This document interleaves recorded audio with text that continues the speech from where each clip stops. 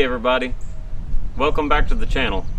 So today we're going to install a SiorFi UTV roll bar and bench seat in our 2016 Kawasaki.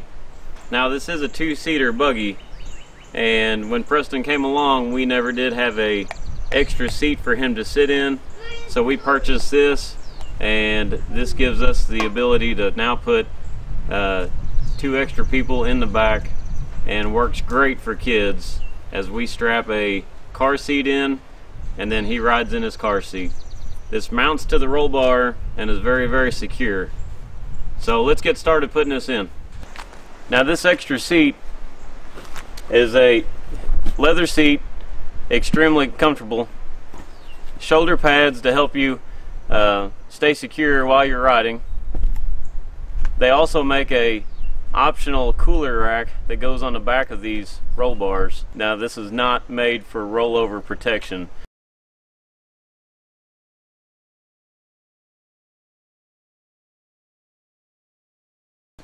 Now this can be easily removed if you need bed space. For us, we take it out in the wintertime. We uh, haul a lot of wood, we pull the wood splitter around the trailer, so we like to have the bed space in the wintertime so we can actually do things here on the farm. Uh, in the summertime, we're ready to ride, so uh, we put the seat back in, and now we have a spot for two extra kids in the back where we can ride around and enjoy the outdoors. let's go ahead and get this thing bolted in and uh, show you how it works.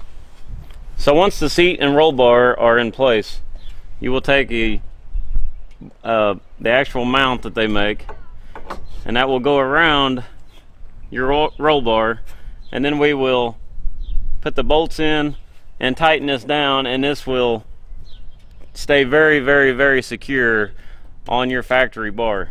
We're going to go ahead and put this in. We're going to get this started see how this works out and show you all what we have. Roll bar and the seat are in place. We have bolted them down to the cage itself and the final piece to put in is a, a little threaded U-bolt type and this goes down hooks to your tie downs and you tighten this down and this is uh, supposed to kind of keep the back down more secure but really what we have noticed when these are out uh, the bar is extremely secure. So uh, very very well built and very sturdy belts very thick. Okay so we have the bar in place. Everything's mounted in secure. Now we will put a car seat in this for Preston since he is uh, he's just turned three the other day, so these shoulder straps will not quite pull over him very tight. So we actually strap in a car seat and then we put him in the car seat. Now when he gets older, we will be able to use the harness straps to go over. Press, come here. Hop in. Hop in. Here he comes now. Come here. Now, if you like riding around with kids, you like riding Prince? Yeah. Okay. He said yeah. I said, okay. And that's how it works. So obviously he's a little more wound up right now because he has been wanting to ride ever since we got this seat back out. So we're gonna put the uh, car seat in and we're gonna go for a ride.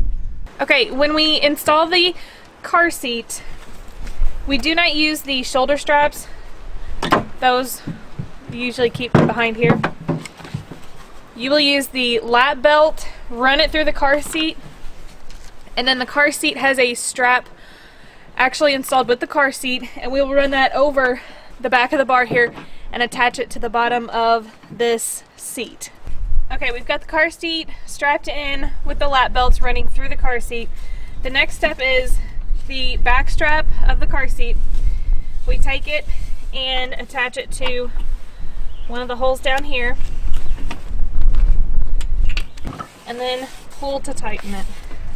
Okay, so there was the installation of the SiorFi seat. Press is in his car seat, which we have strapped in very tight in this seat. We're ready to ride. Uh, today we're going to ride out to the Pinecrest Azalea Farm located in Oak Ridge, Missouri very very very pretty place uh, they've got it's it's in full bloom right now. Usually it happens in the late May, early or uh, late April, early May, and uh, very very pretty place. If you ever get a chance to get out around Oak Ridge, Missouri.